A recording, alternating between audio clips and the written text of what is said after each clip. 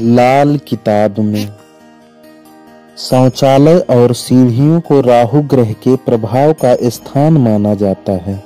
इसका लाल किताब के वास्तु अनुसार होना ज़रूरी है।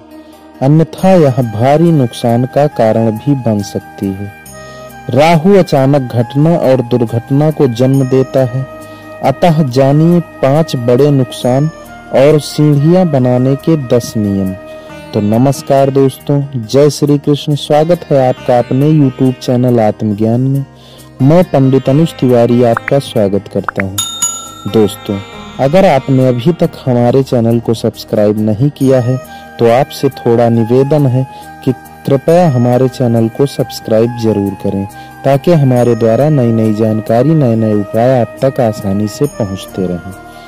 चलिए दोस्तों, अब जानते हैं पाँच नुकसान। सीढ़ियों में वास्तु दोष है तो व्यक्ति को कर्ज में डुबो सकती संतान की प्रकृति पर भी इसका दुष्प्रभाव पड़ता है। व्यापार में हानि की संभावना बढ़ जाती है। दोष निर्मित सीढ़ियों का मुखिया हर समय परेशान ही रहता है। कभी कभी तो मुखिया पर मौत का साया भी मंडराने लगता है। हमेशा चोर उचक्कों का भय बना रहता है। तो आप जान लीजिए कैसी होनी चाहिए सीढ़ियाँ। सीढ़ियाँ खासकर पत्थर या लकड़ी की होना चाहिए। सीढ़ियों का प्रत्येक पायदान बराबर होना चाहिए।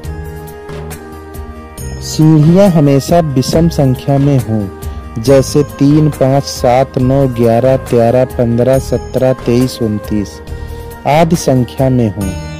यदि घुमावदार सीढ़ियाँ हों तो फिर इसका घुमाव बाएँ से दाएँ की ओर होना चाहिए।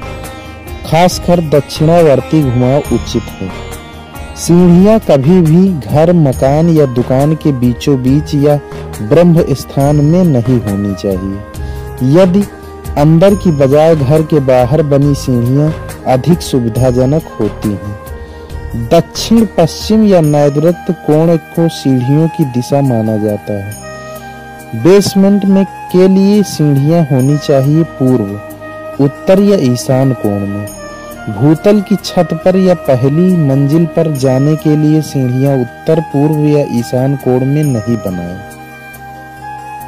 उत्तर, पूर्व यानी ईशान कोण में सीढ़ियों का निर्माण नहीं करना चाहिए। इससे आर्थिक नुकसान, स्वास्थ्य की हानि, नौकरी एवं व्यवसाय में समस्याओं का सामना करना पड़ता है। इस दिशा में सीढ़ी का होना अवमित का प्रतीक माना गया है।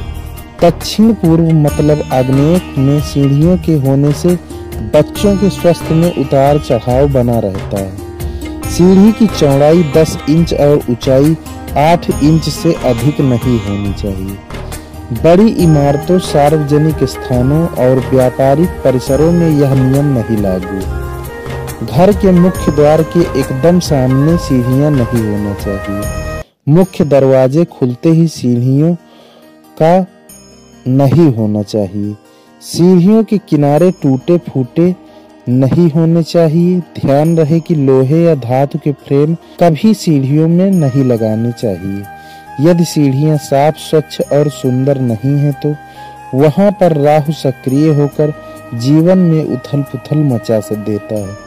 शत्रु सक्रिय हो जाते हैं और कर्ज से भी आदमी घिर जाता है। सीढ़ियों के दोनों ओर या दो डिजाइनदार रेलिंग हो या फिर मज़बूत पतली दीवार होना नहीं चाहिए। सीढ़ियों पर या उनकी दीवारों पर नक्काशी या देवी देवताओं के रेखा चित्र नहीं उकेरना चाहिए।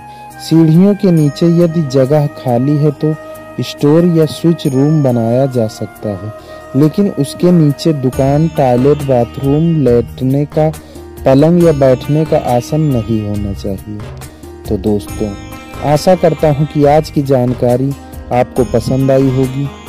अगर पसंद आई है तो चैनल को लाइक ज़रूर कीजिए। अगर नए हैं तो चैनल को सब्सक्राइब ज़रूर कीजिए, ताकि हमारे द्वारा नई नई जानकारी नए नए उपाय आप तक आसानी से पहुँचते रहें।